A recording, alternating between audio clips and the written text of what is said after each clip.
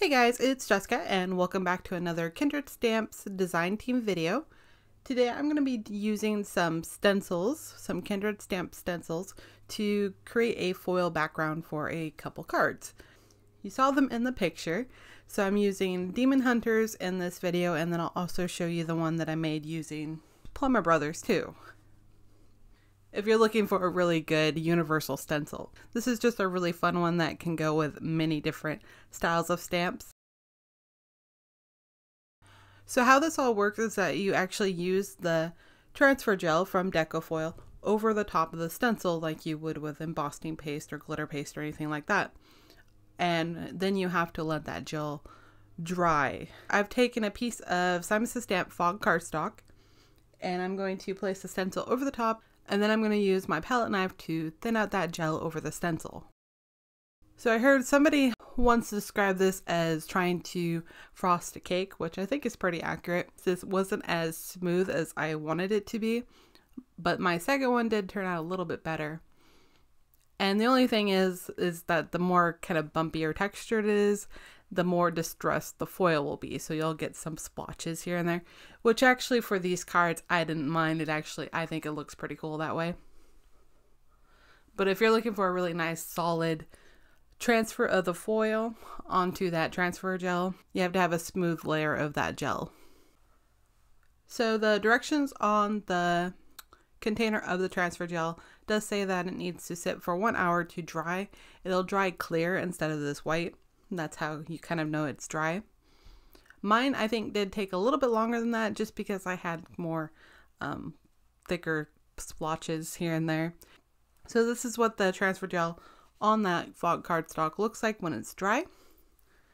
I'm going to use a little sandwich here consisting of a piece of parchment paper folded in half just enough to where it will close over my foiled piece like a book. And then I have a piece of copy paper behind that just for a little stability. I'm going to run it through my laminator. I have a purple cow.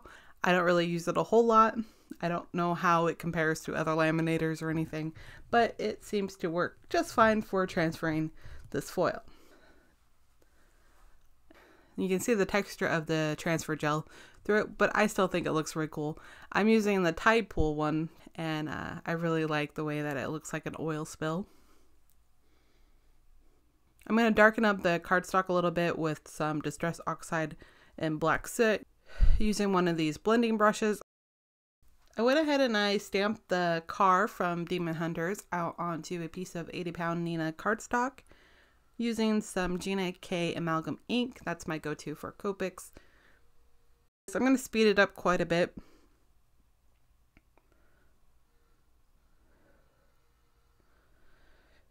So I wanted it to be kind of uh, like a highly reflective coloring. So I started with the darkest colors first. I'm using a lot of cool grays and then some warm grays.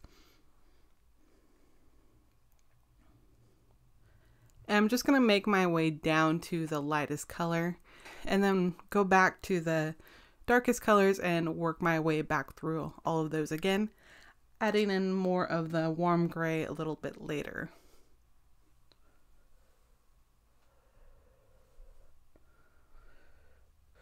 So I did cut down the foiled piece with a die so it is matted onto a piece of Simon Says Stamp Ultraviolet cardstock. And I'm going to take the leftover of that die cut. And it's basically just a really cool frame. And I'm going to put that in the inside. If I have a good piece like that that's left over, I like to try to use it somehow so it doesn't go to waste. I heat setted the sentiment with some white embossing powder on black cardstock and then layered some black foam to give it dimension. I'm going to attach that to the card over the top of the foil right in the center area and then add the car to the top of that right above the sentiment. Now just let it sit and dry for a moment.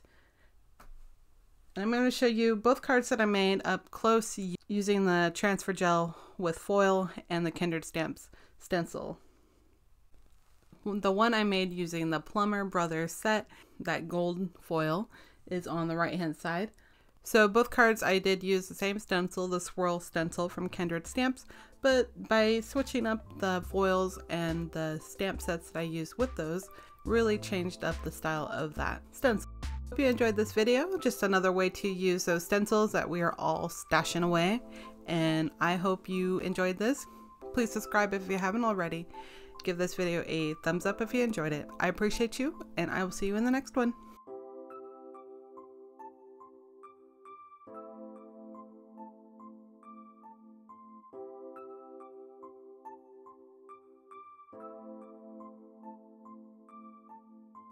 Meh, meh.